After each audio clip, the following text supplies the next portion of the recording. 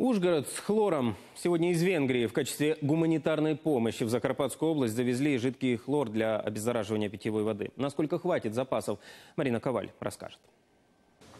Грузовик с тремя тоннами жидкого хлора сегодня заехал из Венгрии в Украину через пункт пропуска ТИСа. Груз встречал лично губернатор. Геннадий Москаль заявил, что к нему обратились руководители местных водоканалов и сказали, что хлора для очистки воды осталось всего на неделю-полторы.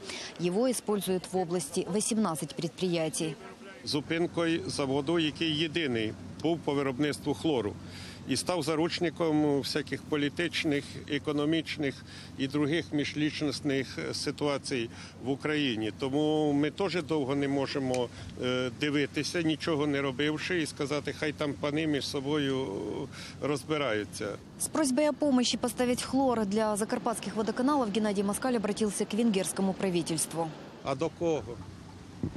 Ну до кого? До Парагваю?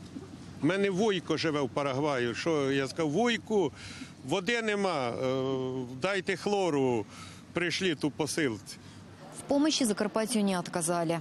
Венгерское правительство тотчас же откликнулось. Эта партия рассчитана для нужд Закарпатской области, не только для тех водоканалов, которые поставляют воду в места проживания венгерской общины.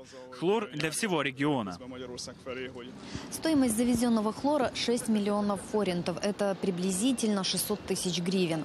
А, Дипломат заверил, если будет нужно, Венгрия готова поставить Закарпатью еще 13 тонн жидкого хлора. А сегодняшней партии области хватит на полтора месяца.